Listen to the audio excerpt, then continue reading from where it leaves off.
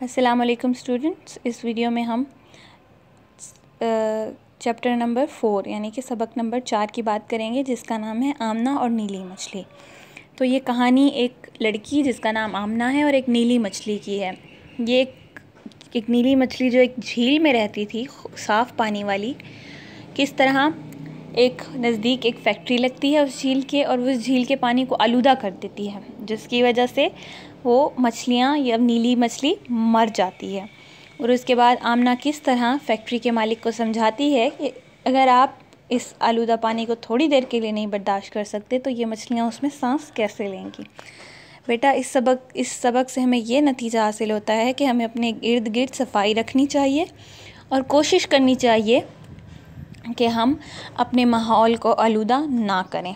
इस सबक में कुछ ख़ास अल्फाज हैं, जैसे कि गदला गदला कहते हैं मेले को, जो साफ़ नहीं होता। आलूदा कहते हैं कूड़ा किरकिट या जो गंदगी होती है उसे। रेला कहते हैं पानी का जब बहुत ज़्यादा सैलाब। ठीक है, मौसीकी गीत को कहते हैं, शफाफ कहते हैं, साफ़ को। बेटा, इस तरह यहाँ आप चैप्टर की रीडिंग करेंगे तो आपको समझ आ जाएगी कि ये कहानी क्या है। तो हम मश्क पर आते हैं। मश्क में पहला सवाल है जोड़ तोड़ का। तो हमने कुछ अल्फाज दिए हुए हैं, उनको मिलाकर अल्फाज बनाने हैं, जैसे कि शफाफ। पहला है, दूसरा है मौसीकी, तीसरा गदला, चौथा आलूदा और पांचवा रेला। सवाल नंबर दो में हमने इन अल्फाज के, कुछ अल्फाज के नीचे लकीर लगी है और उनके मायने लिखने हैं। पहला है शफाफ। शफाफ के मायने क्या होते हैं? नहायत साफ़। दूसरा है मौसीकी। मौसीकी के क्या है? गीत। तीसरा सवाल है गदला। गदला जिसके मायने हैं मैला। चौथा आलूदा मतलब गंदा। पांचवा रेला मतलब सैलाब। ठीक है?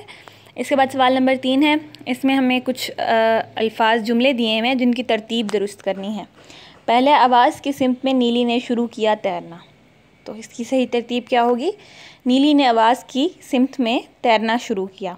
दूसरा है, इससे भी बदबू आ रही है। तीसरा, और यूँ बाकी मछलियाँ आलूदगी से बच गईं। पांचवा आया मंसूबा आमना के जहन में। आमना के जहन में मंसूबा आया। इसके बाद हमारे पास अल्फाज जुमले हैं। शफाफ। शफाफ का क्या जुमला होगा? झील का पानी शफाफ था। इसके बाद मौसीकी है। नीली ने मौसीकी की आवाज़ सुनी।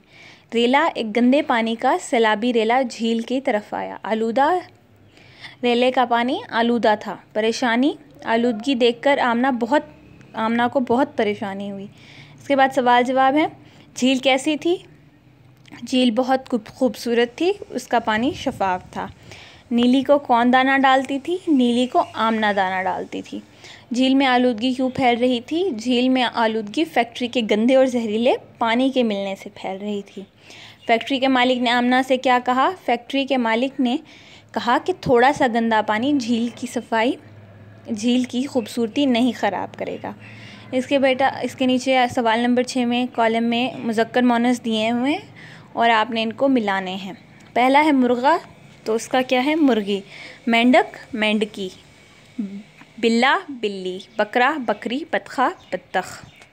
बेटा, इस तरह हमारा ये चैप्टर कंप्लीट हो जाएगा। इन नेक्स्ट वीडियो में हम नेक्स्ट चैप्टर करेंगे। तब तक के लिए खुदा हाफिज़।